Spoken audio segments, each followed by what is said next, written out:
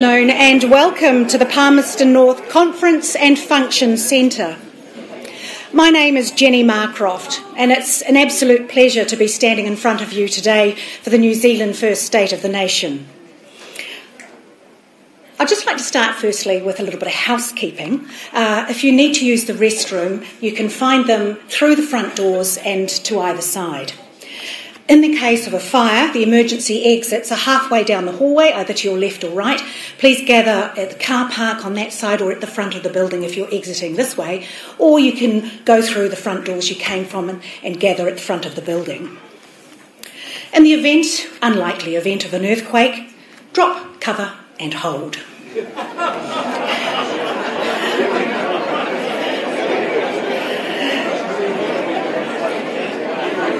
One thing before I move on is uh, don't be that person. Please turn your phones right now onto silent. Thank you very much. In 2020, Winston Peters and the New Zealand First Party were cast out into the political wilderness, banished from the halls of power at the general election. Without the steadying influence of New Zealand First, a cyclone of history was to bear down with its bitter gales terrible seas, and dreadful tides. A tide that turned and cast the country into the red, into a fiscal abyss. It was during this predicament that our crew was rallied, and a steady course back to Parliament was navigated in spite of strong headwinds attempting to blow us off course. But it was thanks to you for your support your belief in our message that the political winds of change started to blow. We got knocked down, but we got up again.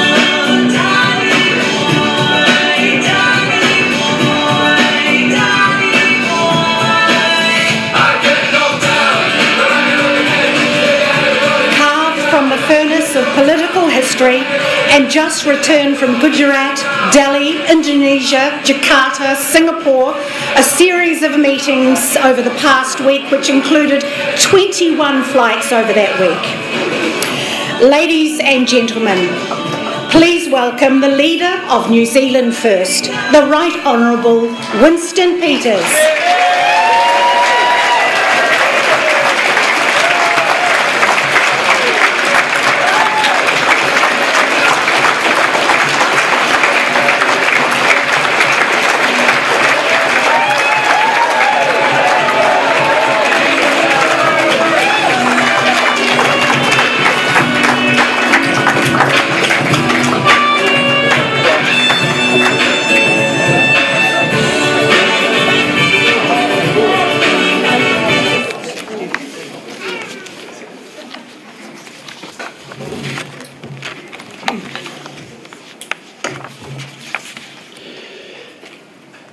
Afternoon.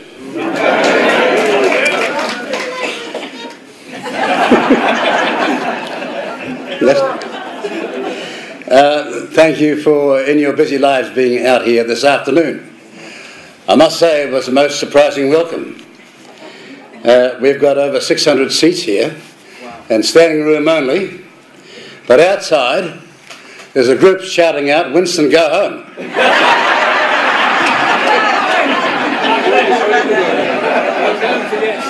On the issue about which they're speaking, we've done our best.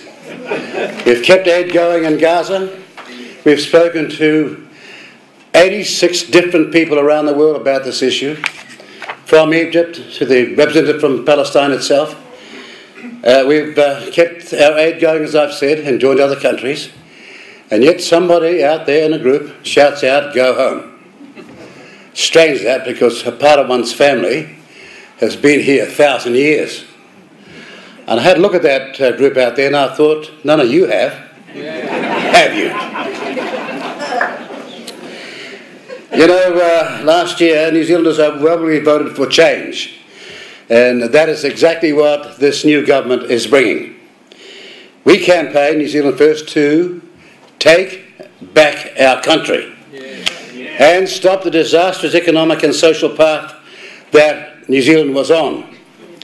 In government and pulling back the curtain in the first three months, we've been shown that this country is in a much worse state, that too many politicians and observers in 2023 understood.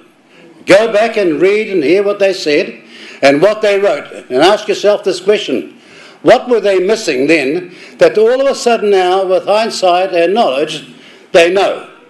Because politics is about, amongst other things, having the presence of mind to see around the next corner and the corner after that. And only that way will you know, based on experience, what is the best thing to do. Today in the Sunday Star Times, journalist and former advisor to the Labor government, somebody I've got a great deal of respect for, Vernon Small, refers to the quotes present government facing a fiscal hole of $5.6 billion. In short, that's what he says is the gap between what we've got and what we're going to have to, on the face of it, pay for. Now, Mr. Small is right, of course, but he's wrong when he said last year politicians were, were warned of that. He's right, but he's wrong when he said politicians last year were warned of that. Because if he's right, then please show me when that warning came. Last year. Every party last year, before the March update of the fiscal situation of New Zealand, had given their State of the Nation speech. Only one party didn't. Waited till after the 15th of March to tell you what they really thought was going on. And likewise in August. Held off making a comment until the August update had come. And all the rest, including the commentators, just let fly, and that's one of the reasons why we're in the circumstance that we're in right now. Only one party in 2023 campaigned to alert New Zealanders, New Zealanders onto just how bad things were. We pointed out where optimistic predictions were also false, like the house bias tax in Vernon Small's article today. Or dare I say, the overseas online gambling tax benefits in the article today, and another, another article written by a man called Colgan for the Herald, but nowhere does he refer to one party's manifesto in the 2023 election pointing to precisely those figures. Now, my friends in the media, go back and do some research and tell everybody here if what he's saying from the podium, not of truth, but of opinion, is correct. Look, there's no sugarcoating. We inherited a broken economy, a fractured society, and a country on the road to social disaster. That road was paved with the breathtaking naivety and incompetence from a lost Labour government. After the 2020 election, and without the handbrake, much maligned by you know who, without the handbrake, Labour cared more about feelings and ideology than the duty to competently govern our country. New Zealand's debt ballooned. There were multiple fiscal policies with no allocated funding. Even lunches in school, in schools, is in that category. And the insidious creep of racist co-governance that has spread through legislation and the public sector. Everywhere. All the way to the real estate licensing provisions. Everywhere. Manipulated no manifesto coverage, no campaign, just under the radar, dirt of this type. And what were the media saying about it? Deafening zero. And ladies and gentlemen, we're never going to make it out of this demise if we tolerate that sort of behaviour. Over and over again. Or when you have the audacity to say there's something dramatically wrong here, not just about the policy, but about their lack of warning, they shout racist. Not just ideological theory, it was race based theory, where some people's DNA made them, sadly, according to these people, and condoned by their cultural fellow travellers, their DNA made them somehow better than others. I've seen that sort of philosophy before. I saw it in Nazi Germany. We all did. We've seen it elsewhere around the world in the horrors of history. But here, right in our country, and tolerated by people whose job was to keep the system honest, this happened. Where some people's DNA made them better than others. The left had simply run roughshod over society, and the people of New Zealand with ideas and plans they had never, ever campaigned on. You know, this is time for reflection. Ladies and gentlemen, we can't fix this country until we acknowledge what is wrong with it. Labor has left us a folio of failures and a barrage of broken promises. It's actually breathtaking. And I don't think anyone can point back to a past period of our history where this has happened to the extent it's happened in this way. A crumbling, underfunded, overwhelmed health system. There they were. The Parliament had hardly set for the new year when they had over 6,000, the Labour did, questions. What would you think of a government that's been there for six years when they've got 6,000 questions a day after they leave? Well, perhaps maybe on their own they never had any damn answers in the first place. That's the conclusion one would get. An education system that has seen a record number of children facing and failing basic standards and truancy rates. How can we possibly educate our children if more than 50% aren't at school? In a country where in 18, in 1877, when Parliament was filled by people who mainly had a very modest education, but nevertheless they understood the importance of education. How can we possibly deliver to the taxpayer, indeed that child, if they aren't at school? Do you see any sense of horror in the government or the bureaucracy about that? No. Just wild condemnation.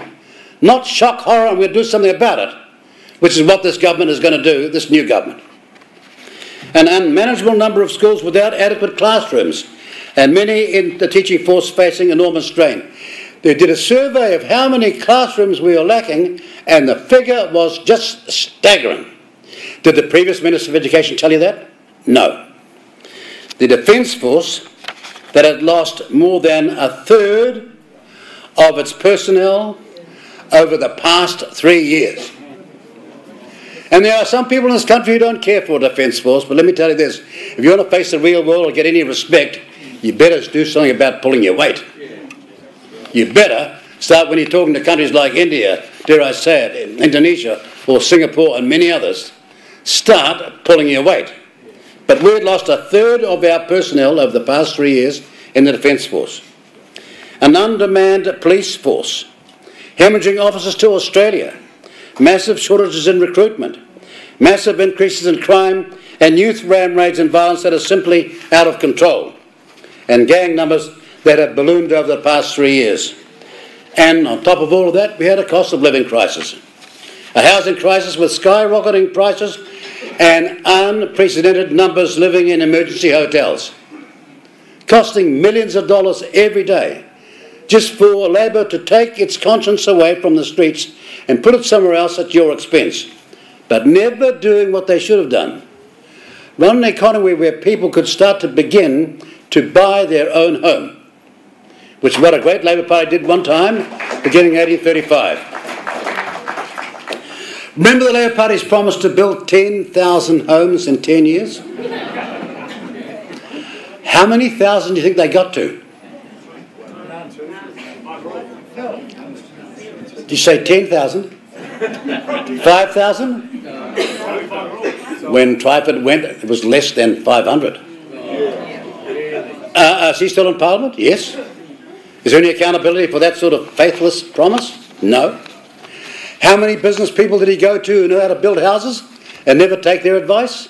Well, a whole stack, really, because we pointed them to men, people who were in housing businesses who could have built a thousand a year themselves. Who could have built a thousand a year all by themselves.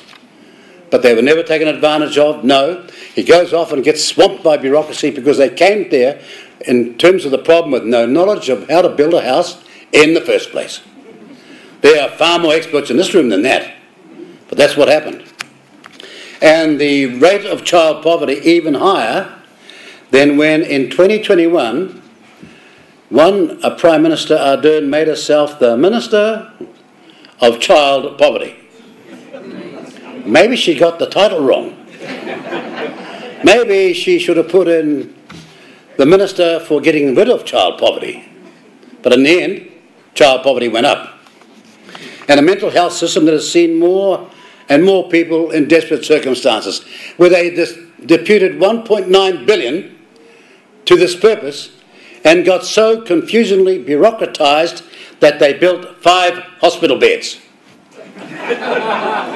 well, it would be a laughing matter, but what's so darn sad for so many young people. But where was the clamour from the gallery of the media shouting out, What on earth's going on here? No, a deafening silence. Yes, why would that be? Well, I'll tell you why it is, because just last week, in a few uh, days, we've seen the implosion of a party on the left called the Greens.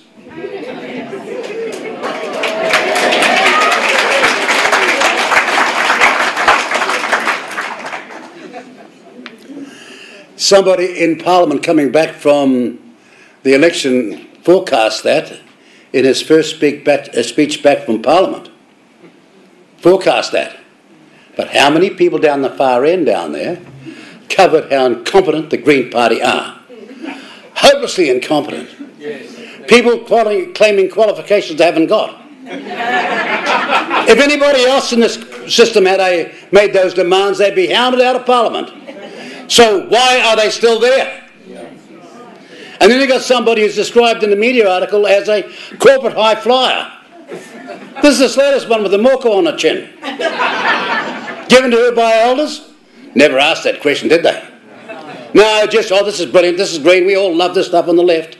They couldn't run the school tuck shop. and it's all imploding. One after the other. Someone said when coming back to Parliament to the Greens, this is your high point. It's all downhill from now. I just didn't realise how accurate and how quick I'd be in, in my forecasting and getting it right. You got a photograph of that now? Uh, I, am trying to give a speech here, and you're mucking around, distracting people. Right? This is not like the other parties. We're organised. We've got a crumbling basic infrastructure around the country with no plan, no funding, and no idea. And here is the rub the most awful thing to happen, which no one in this country, in a real sense, and I think uh, in the media, without condemning them in this matter, have quite grasped what they're looking at. It's the uncontrollable level of new migrants entering our country over 133,000 over 133,000 net in 2023 alone, none of which was forecast or told to you by anybody in the Labour Party, the Greens, or the Party Maori, or dare I say it, our friends in the gallery. 133,000. That's more than the total population of Dunedin in just 12 months last year. Now, where was the funding and plan for any sort of infrastructure to cope with such numbers? Let alone the demands that were there before they even came by people who were here as new migrants or older settlers as well. Where was infrastructure for that, let alone the 130,000, 3,000 coming in? The health infrastructure, the education infrastructure, housing infrastructure, and all the utilities required for that. Any political party or government can do that should go out of power and stay out of power.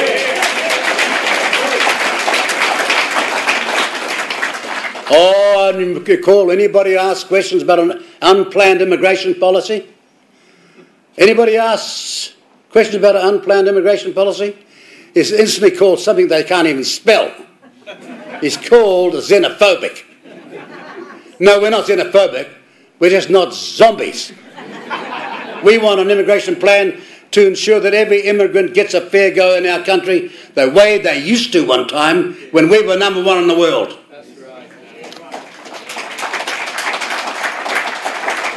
But if you want to know why Labor has got no sense of humanity or kindness or a sense of action, have a look at that policy. Get past that. Labor left large numbers of people ostracised, demonised, shut down and shut out, ignored and cancelled, all because these people fought for their right to say, no, we disagree. Just on that matter alone, they shut them out, mandated them out, didn't care whether they had a job, partner had a job, what the family circumstances were. No. They were the podium truth. Any alternative was just shut down with the condemnation of you know who. Jessica, Jessica, Tova, Tova, Jessica, Jessica, Tova, Tova, night after night. Ladies and gentlemen, at the last election, voters did disagree in a massive, historic repudiation of Labour. And on the 14th of October last year, the people of Zealand voted for change, although it seems some in the media and the opposition parties refuse to accept the result. On more than one occasion, and just recently, in a thing which was very apposite as to its title, the Labour Party went and had a retreat.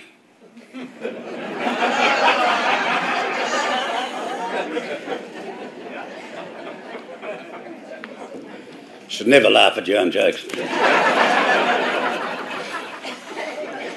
but they had a retreat. And they tried to explain to New Zealanders that uh, may have voted for change, but even though they had voted for change, quotes, they didn't know what they were voting for. In a quotes. That's what they said. In the ashes of defeat, there they were, saying that you didn't know what you were doing. How's that? These people have never had a real job in the main. Right? They've been sucking off the taxpayer for years, all their life. In Hipkins' case, probably forever. And don't, gosh, don't shout out to me, well, well, you've been in politics a long time. Yes, I have. But I seriously run a law practice as well. Where the pay was a whole lot better than what it is now.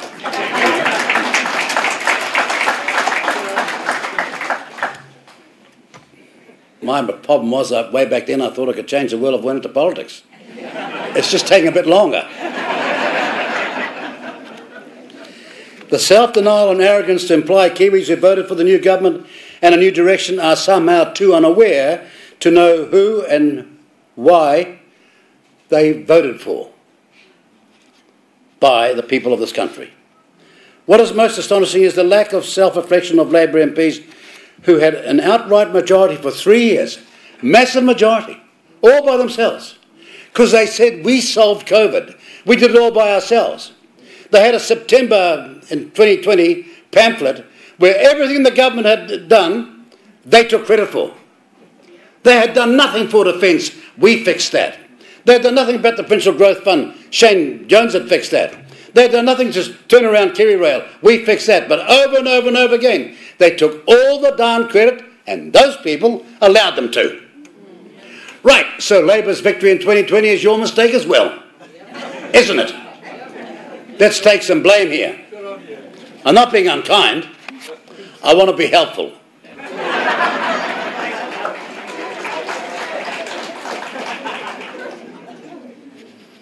We had three years of dripping self righteous moral high horse, where they were right and everyone else was wrong. And it is true, you know, there's nothing so difficult as to climb off your high horse gracefully. There's nothing so difficult as to climb off your high horse gracefully and Mr. Hipkins' comments reflect that. They made decisions, many in secret, echoing a Machiavellian like approach to governing. We who have the power are always right. The weaker is always wrong. And that the ends justify the means. The problem for Labour was that there were no ends because they had no concept of where they were going, the hapless freight train ran out of tracks, and the means only exposed an unheralded level of contempt. Ladies and gentlemen, there's no one more expert on Labour's contempt for democracy than, with all a sense of humility, the person you're listening to now. Why? Well, having governed with former Prime Minister Helen Clark, one can say that there are light years between her and the last two Labour leaders in their most basic understanding of democracy.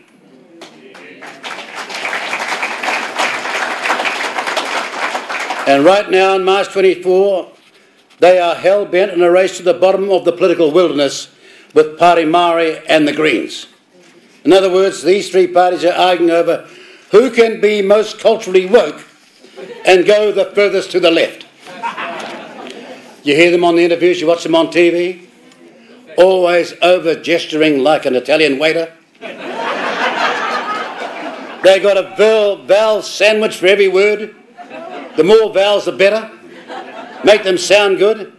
And they're getting away with all this bull dust. Until now.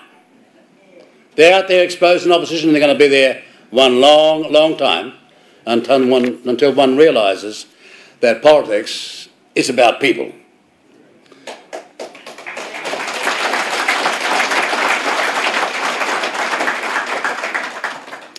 In our months into being in opposition, many still are still blind to the fact that the leftist groupthink of their government is the rod that they have made for their own backs now. Labor, dramatically and sadly, has deserted the traditional blue collar workers of New Zealand.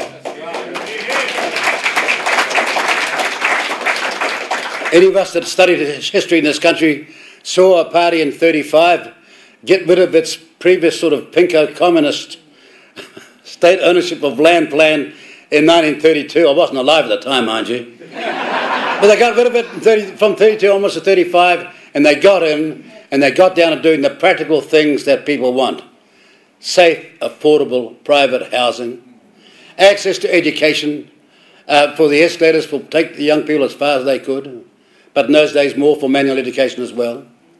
Access to health if people needed it, and above all, the fourth one was first world wages. Those four things is what Labor set out to do. And they were magnificently successful, no matter what category you like, particularly under Peter Fraser. And then a National Party came in in 1951 and thought, 49 and then 51 and thought, ah, this is so good, we'll just change its name to a property owned democracy. Steal the policy, call it a property owned democracy, and keep going basically in the same pathway, the same thrust.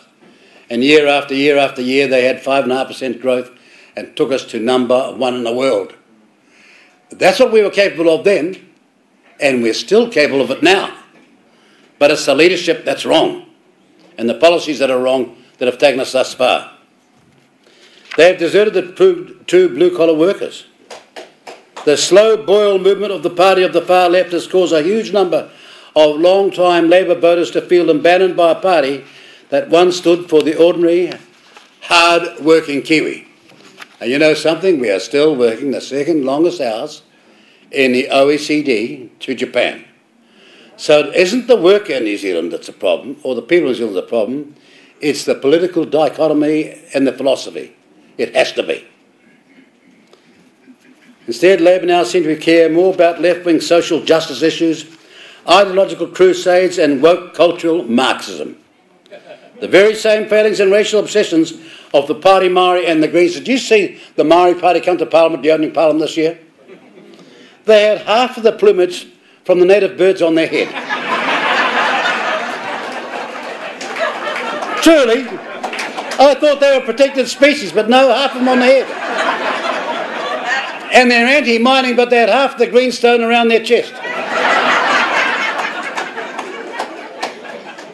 Truly and an absolute contempt for a place that took Maori to Parliament in 1867 and saw people like uh, Ngata and Pomare and Buck in a great former age. And before that, Deputy Prime Minister Carroll, way back centuries ago. Here this is this theatre where Maori have got now greater numbers than ever before because of MMP. And here they turn up with this outrage and shouting the rest of us down. That's right. Being there five seconds, shouting the rest of us down. And if you're Maori in this audience, you tell me we're on the marae, that sort of behaviour is loud. You're allowed to have a difference of opinion, you're allowed to disagree, but we're on the marae, is that sort of behaviour allowed? But no, no, the very interface of Maori coming to Parliament in the form of the Party Maori is now saying, that's us, that's our image, that's how we behave. And our response from New Zealand First, oh no, you don't, sunshine. You're looking for trouble, you've come to the wrong place.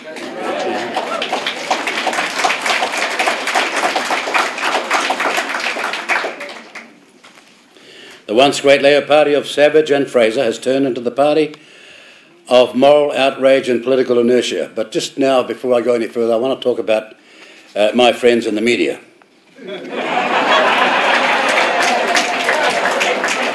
Uh, uh, and by the way, uh, can I say to you all in the media, welcome back. because last year in this campaign we were packing the halls. These meetings will see nobody from the media here. At all. And when they contest that, let me show you meeting after meeting after meeting with the same coverage that is today to prove that. So please don't say it didn't happen. But welcome back. As a New Zealand First leader, in an article written not so long ago about the state of our media, we said this New Zealand First has always believed and held the view that the fourth estate is essential to any successful, functioning democracy.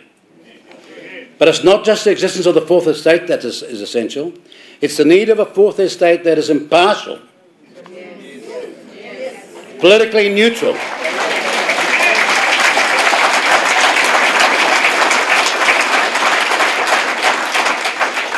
Fair and objective. Is that too much to ask for? Impartial, politically neutral, fair and objective. These are the qualities and attributes that the public expect of an effective media in any free society. Because in the end, you're their master, like you're our master in politics.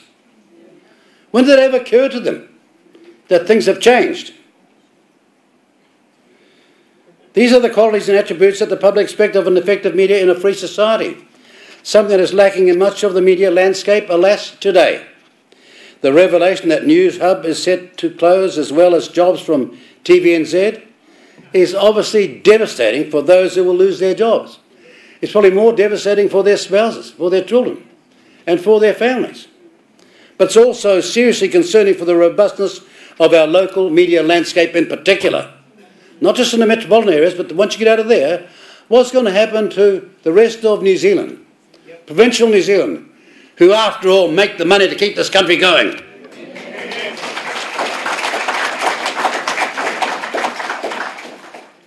One of those reasons is the increased lack of trust in New Zealand's media that has seen much of the public actively avoid engaging with them. The impartiality of media should be the foundation of its reporting, but in the main it has morphed into the past few years to rely on opinion, narrative agendas, and clickbait. And who gives a rat's derriere what some of you guys think? Why don't you tell everybody what was sung about in a grand famous song by Phil Collins when he said you got to hear both sides of the story. Get a chance today, go and play it to yourselves. He's talking about the need to hear both sides of the story.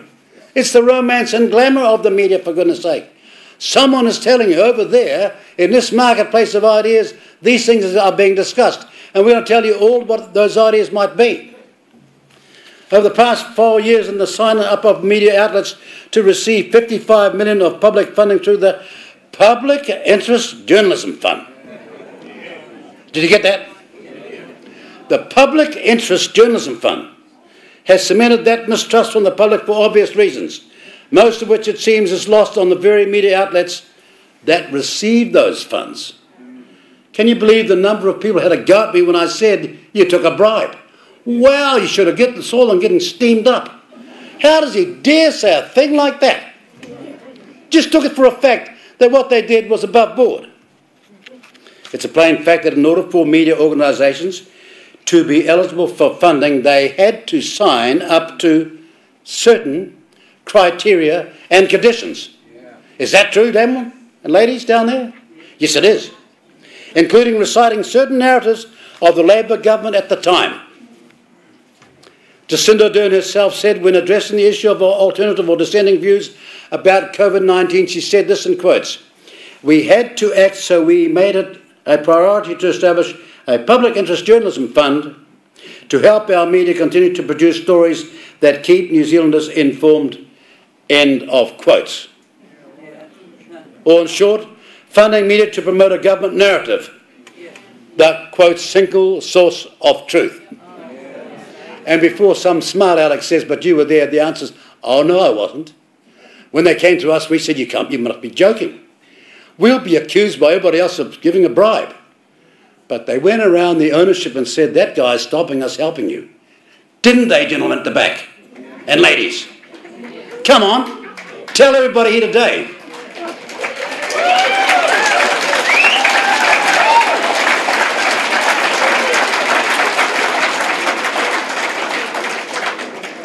One of those conditions was based on a purely political view that is not supported by many in New Zealand or political parties. The statement that the media organisation must, quote, actively promote the principles of partnership, participation, and active protection under Te Tiriti o Waitangi, acknowledging Maori as a Te, te, te Tiriti partner, end of quotes. Maori are a Treaty of Waitangi partner, end of quotes. If they didn't sign up to this condition, they wouldn't get the money. Is that true or false? The deafening silence down the back tells me it's true. If they didn't sign up to this condition, they didn't get the money. How can a politically neutral and independent media organisation give balanced political commentary, analysis, and in particular opinions when this was the basis of the funds they received for their very survival? This was the sinister seed that provided the platform for inevitable political bias. And frankly, if I was a media person, I'd despise the very people that did that. I despise the patronage. I despise the fact that many women will go back in history and think that way they despised the kind of chauvinism was part of society. And the, way, the reason why so many Maori back then used to despise a certain approach which said, look, if with us, without us, you can't get anywhere. If I was a media person, I'd despise it then. But I despise it now, and I'm not a media person, but I'm bringing it to your attention as to what happened. It created a media environment where certain left wing political narratives and agendas seeped into much of what the media presented to the public, where any opposing views were shut down, cancelled, and labelled as far right or fringe. I was being interviewed by RNZ in the campaign last year and how's, like, how's this for neutrality? When this interviewer says about our candidates, where do you get these people? How do you like that? What would have anybody sitting there with producers behind her and the ownership of RNZ thinking that could possibly be an acceptable approach to an interview where neutrality was the key issue? Well, she found out in the end where we got them from, and we're on the rise and they're on the dive. Right?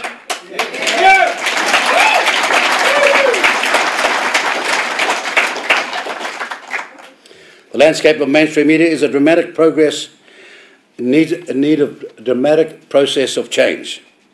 That is an undeniable fact. The current situation has highlighted that the mainstream media need serious self reflection. We are in need of a fourth estate that's robust in our democracy more desperately than ever but one that focuses on thinking news, not breaking news. And by the way, which was the only party in the last election that had a broadcasting policy, that still believes you should be supported properly. And it's not going to ask for any favour if you do your job properly. How's that?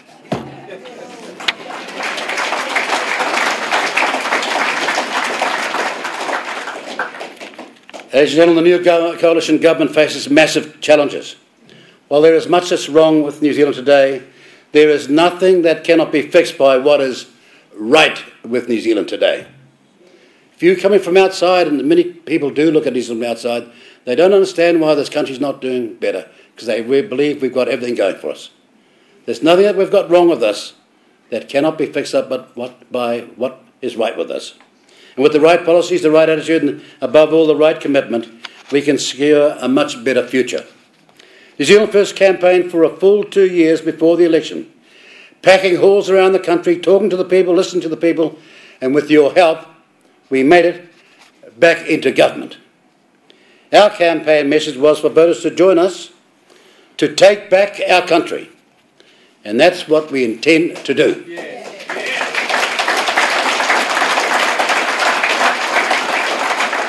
Where we as New Zealanders take back our country and how important that is.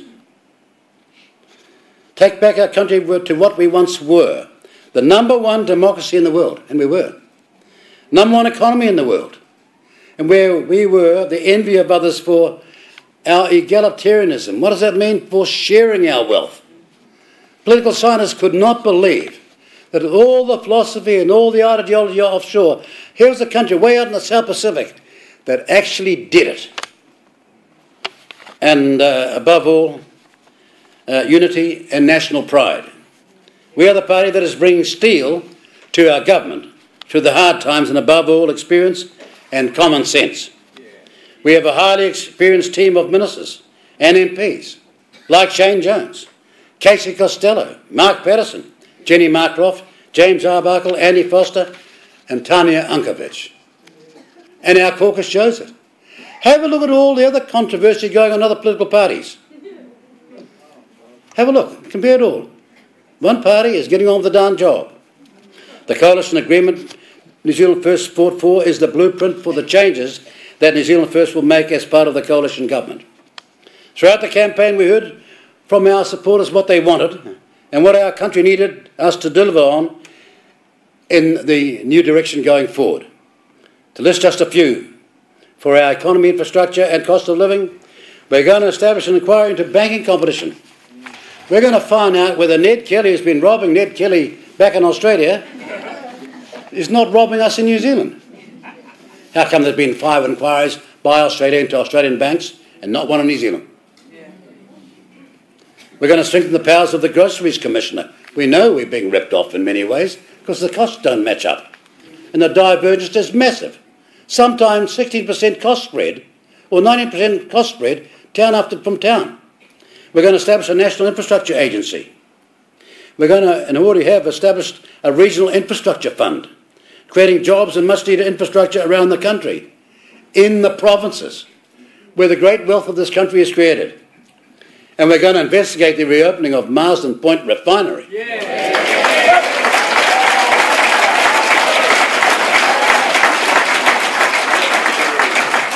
Sometimes one looks at New Zealand politics and wonders, you know, what is it about these appalling decisions that people don't get, including my friends in the media? When they allowed Marsden Point to shut down, they exposed us massively to supply issues. Just massively. And with the coastal, coastal shipping closed down, we could nevertheless, in the old system, keep 50% of our critical economy going, including all the emergency systems. All that's in jeopardy now. And you wonder, how on earth did they get away with that? With Megan Woods talking about green hydrogen. Yeah, when? And where? All these sorts of alternatives put out there while we're exposed in the way we are. Sort of reminds you, you know, I remember when we were young, my father got an alarm clock. We weren't getting up early enough in the morning. It's quarter to five in those days, milk cows. But I got a new alarm clock. I tell you what, we rocket out of bed in the first morning, second morning, the third morning, but after a month, we were still sleeping in have we woken up? And that's what's happening in New Zealand politics as well. And for restoring law and order in our streets, we're going to train 500 new frontline police men and women. Introduce measures to tackle youth crime. We're going to want to know where their parents were on the night or the day of the offence.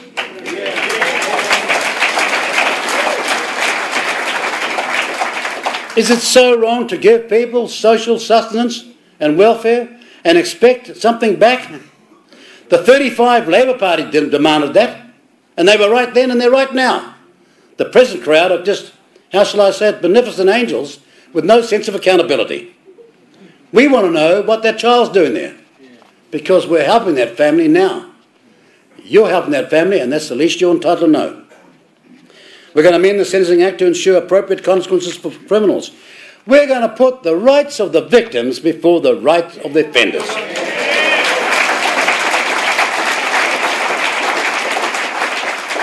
And on education and health, we're going to go back to curriculum on, academic, on academic achievement and not ideology, including the removal and replacement of gender sexuality.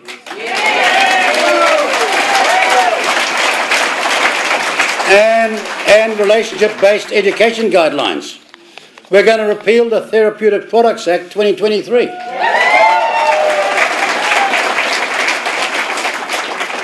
And after Labor gave 1.9 billion for mental health and got five hospital beds, yes, we are going to, and New Zealand First is responsible for this, and exclusively New Zealand First, properly fund Gumboot Friday.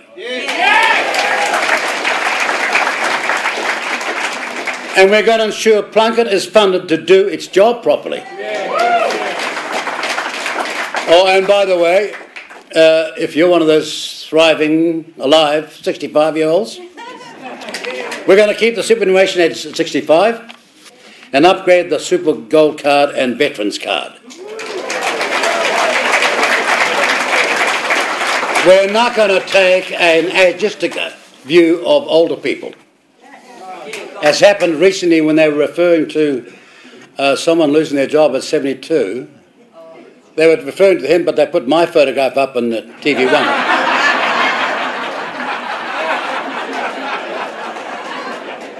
You know, if I was in TV1 and worrying about job cuts and funding, I wouldn't have been so damn stupid. I wouldn't want to provoke someone, would I? Nothing about me, it's about this guy. I'm overseas at the time, but I hear I'm on TV1 News. Very subtle, isn't it? And for strengthening our democracy and freedoms ensure public funded sporting bodies support fair competition that's not compromised by rules relating to gender.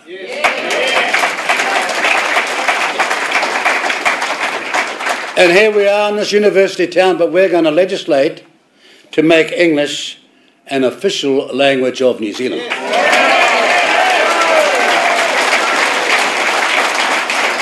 To all of our opponents out there, we say, for goodness sake, catch up. English is the language internationally of commerce. And we're lucky enough to speak this language that never started in England, it started in Germany. Don't you know that? It's worldwide, it's universal now. So let's make the most of it. We're going to protect freedom of speech for ruling out the introduction of hate speech legislation. Uh, I noticed my colleague Mr. Seymour having some contretemps with this person's in charge of that sort of stuff. I couldn't believe what she was posting. Unbelievable. Meant to be neutral. Posting this stuff. We're going to end all COVID 19 vaccine mandates. Still in operation.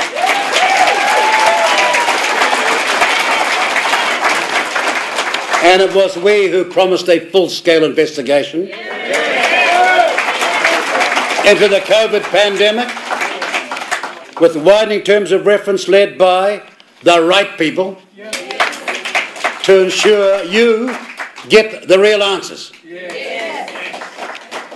We're going to ensure, ensure a national interest test is undertaken before New Zealand accepts any agreements from the UN and its agencies.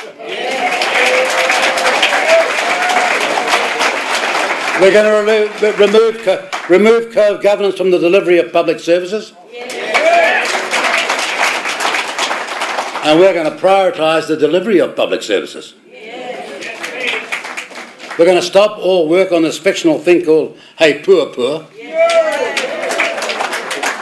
We're going to amend the Waitangi Tribunal legislation to get them going back to do the job they were meant to do. And we're going to amend the Marine and Coastal Area Act, which no less today has 600 claims for the New Zealand coastal environment. We fixed it in 2004. It was changed in 2011. Here comes 600, over 600 claims to the maritime area of this country.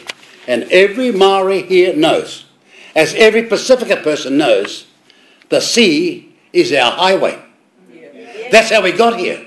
Over 5,000 years from mainland China, all the way across the Pacific to New Zealand, to all of a sudden, here we come, uh oh, it's ours.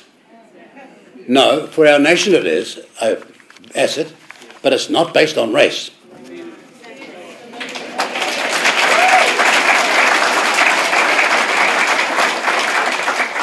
These are some of the things that we have submitted in our agreement, and many are already completed or work is already well underway.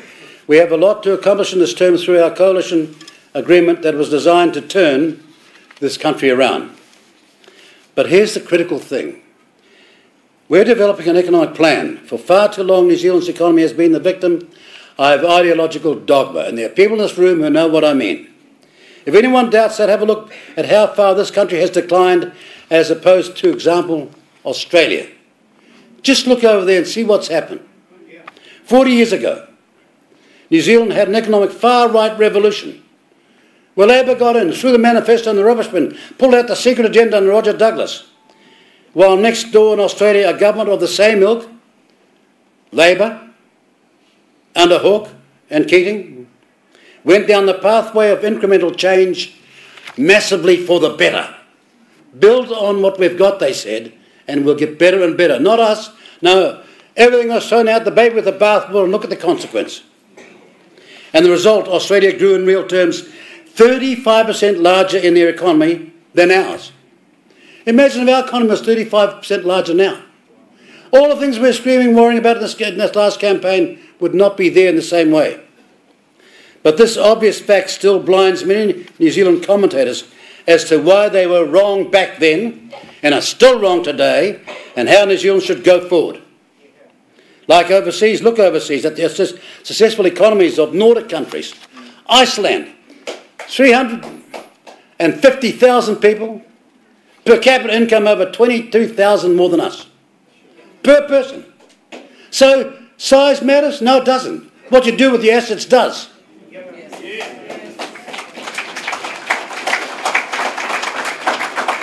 Look overseas at the successful companies of the Nordic countries, or like Singapore. This magnificent country, the size of Lake Taupo.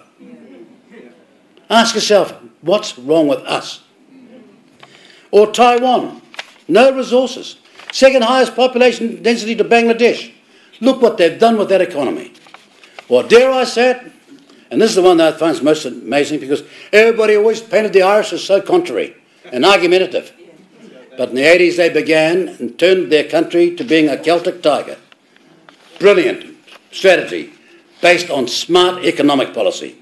And we must do the same. Many of those countries are small or have few natural resources at all. But they all have an economic plan where their people are their number one resource. And that's why education and compulsory school, schooling is going to come back like lightning.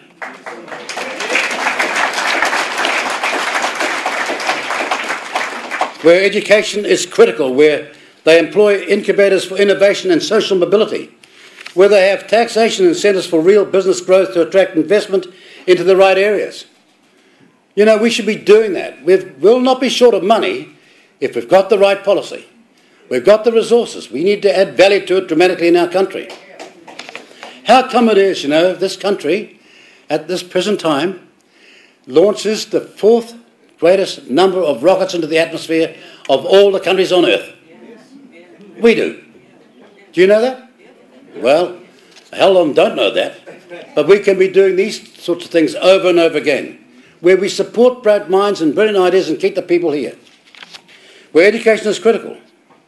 You know, where the primary focus on education on expenditure rather, is on wealth creation, exports, and production, not consumption. Not consumption. Not here today, gone tomorrow. Before the last election, we were campaigning saying that it was an inflection election. There was no doubt that we, if we didn't get it right, with the choice of a new government, with New Zealand first at the heart of that government, our country was on the pathway of economic and social and cultural disaster.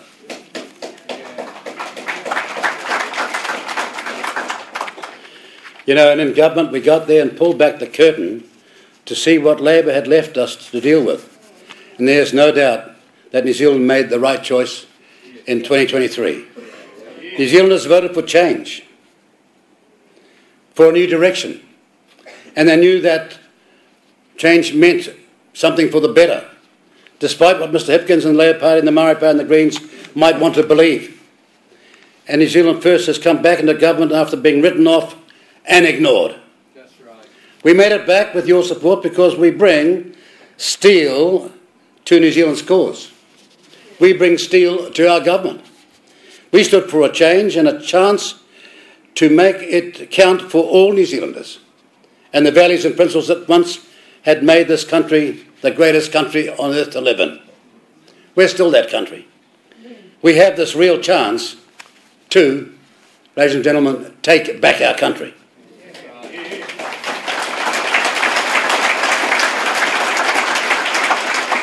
Now, we're very much aware we're in Palmerston North.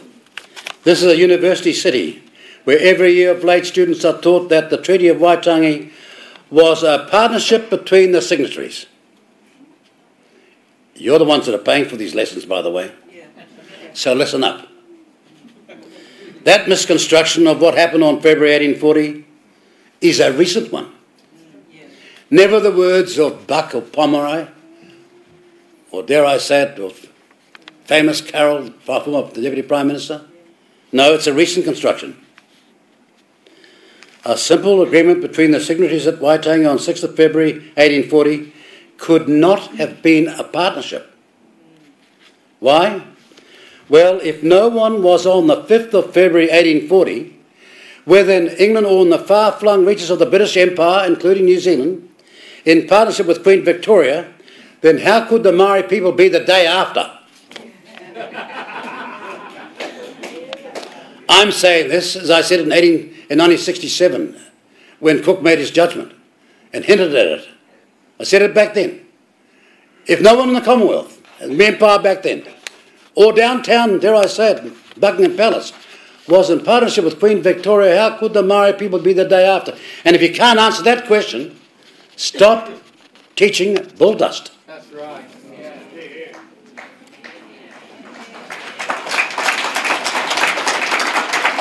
The protagonists of the Treaty of Waitangi being an equal partnership have never, can never, and will never answer that very simple question. And until they do, they are simply showering shibboleths of deceit. After Waitangi Day, the ownership of land for all landowners, including Maori landowners, was guaranteed, and only the Crown had the right of purchase. Maori understood that back then because the Waitangi event was something the Maori people asked for. Did not have it foisted upon them in the way people say now, in the way they insult their former leadership and their chieftains of that time, as though they knew nothing, and somehow because they went to some university they know everything. Why did I not say this? Because British citizens we became. British citizens we became. We would be rule of law beneficiaries under the change and under Crown protection against other rapacious colonial powers. Today, what is being taught at universities on this matter denies the simple fact that neither Queen Victoria nor her successors could constitutionally enter with their subjects a partnership. You've got these massive blocks of fact which these people are skirting around, preaching something that is not true. And from this academic deceit and legal mis- misconstruction have come all manner of demands based on ethnicity of race, inevitably to the benefit of self appointed Maori elite, but inevitably, again, at the enormous cost of ordinary Maori. You know, as said before, what is it that Maori really want across this country? Well, they want a safe, affordable house. Not for themselves, but hopefully for one of their relations, mother, father, or children. They want access readily to health systems that work.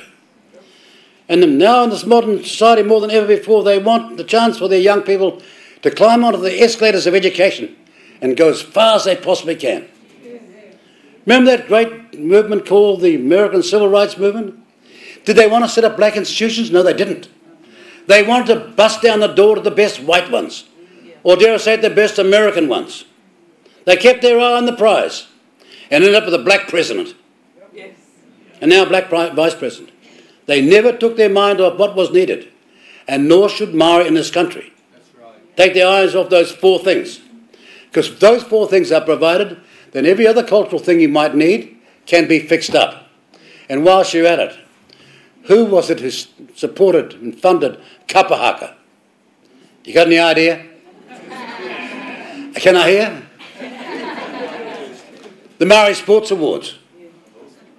The Maori Wardens. Put the Maori Women's Welfare League on separate footing. I can be here all afternoon telling you who that person is, but I'm too modest. but those four things Maori want, you know something? Every other ethnic group in this country wants as well. And that's what we're going to remain unified on, fixing those things up.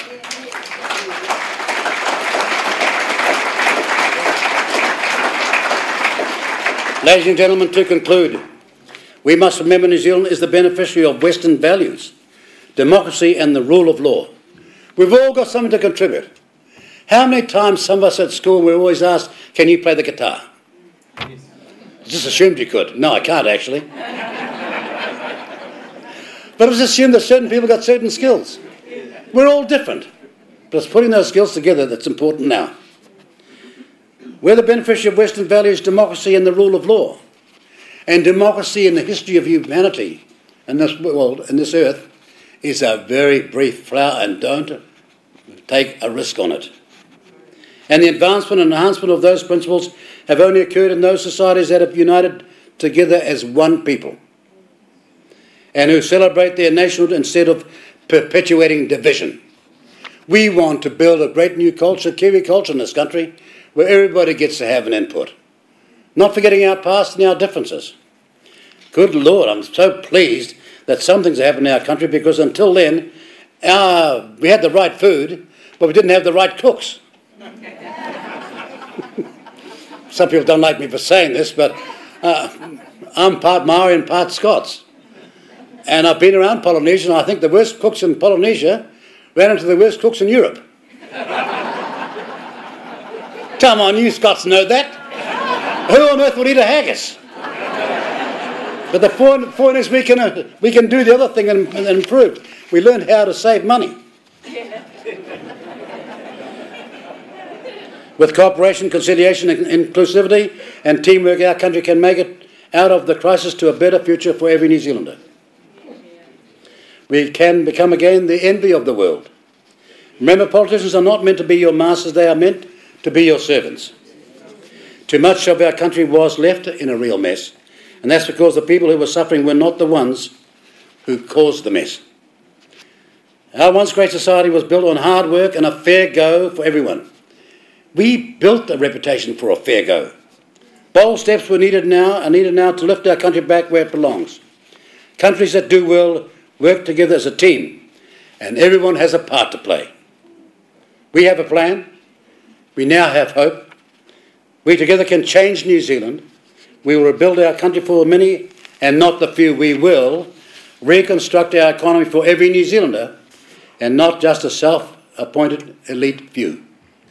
That is our vision, that is our commitment, and that is our commission to protect and save this great country, New Zealand.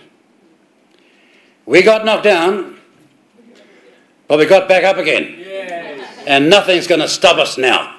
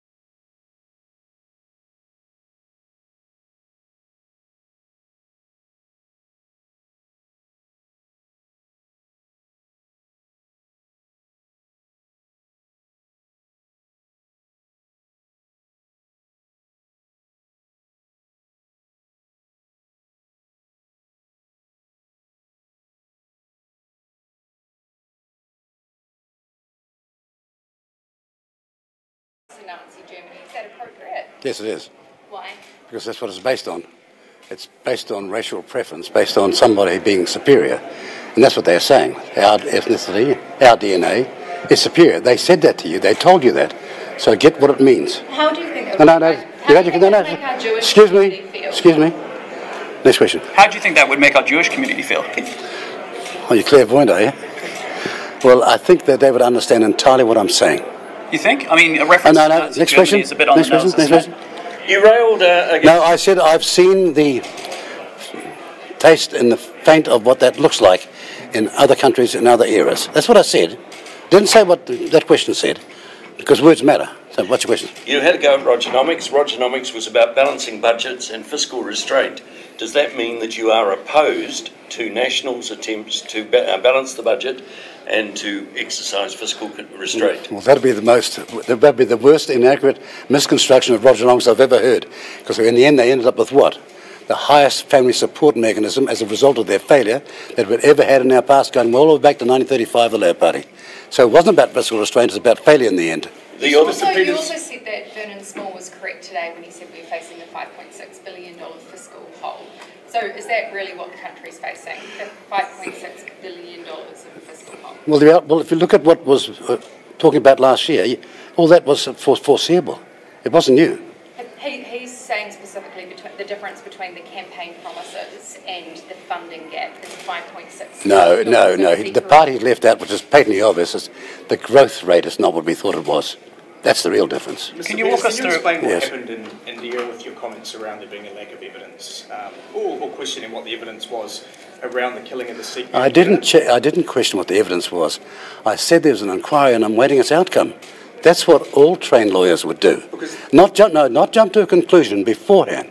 In the same way as when there was an inquiry into the Salisbury event, I was being asked the next, the next day when I was Foreign Minister to give my verdict. And I said, no, no, I'm going to wait, what the, out- I'm wait till the inquiry has been completed. That's all I said. Because the Indian media, they seized upon a comment that you made where you said, where's the evidence?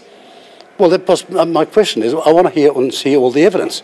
And while I was there, I talked to the uh, uh, High Commissioner from Canada there and had a long discussion about that very issue, so that I get the record straight, because I was being misquoted by one source on this matter. It, it wasn't a controversy. I didn't say anything out of the water. I said what any darn trained lawyer would say. When the inquiry's over, we'll hear the evidence and we'll know exactly what they were Did the saying. Ministry of Foreign Affairs provided you with a background on this case before you made those comments? No, guess yes, they told me about this case. Had they given me the background? No, because guess why? The inquiry hasn't been completed yet. But it was based on Eyes intelligence. No, look, excuse me, the inquiry is not complete yet. Have you got that part right? Why did you give us... Yes. You spent, you spent a, a lot of your speech today talking about Labor and, and the media as well, very similar to what you said in your public meetings before the election. So, what do you say? What was new for you? What do you what do you claim to be new in that speech today that you were telling your supporters? Well, the new part is the part about the economic reconstruction. We've got the capacity to turn this country around, but only with the right policies. We'll not be short of resources or money if we've got the right policies. But Can we attract money from overseas? Of course we can if we've got the right policies. But they're based on some of the economies that I referred to today who've done with accuracy and precision and performance just that. And in the, in, the, in the recorded video that was played before your speech began, uh, you referenced Your State of the Nation as the real state of the nation. Is that in reference to uh, the Prime Minister's one, which was made a few weeks ago? Do you think your one is more accurate than his? I know where you're going, but you're not going to land. Given the $5.6 billion deficit, the surprise that you've got looking at the accounts, can the country afford the income tax cuts?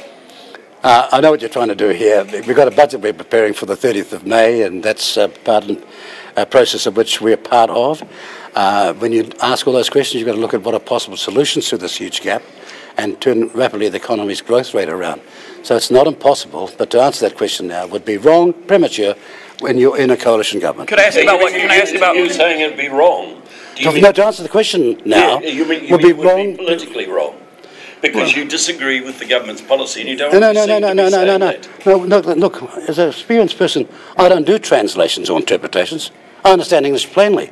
It'll be wrong to break up the way of working and say now what you want inside a closed discussion to come to an outcome, which will be all before you on the evening of the 31st or 30th of May. Can I ask you about your? answer to that question would have been yes.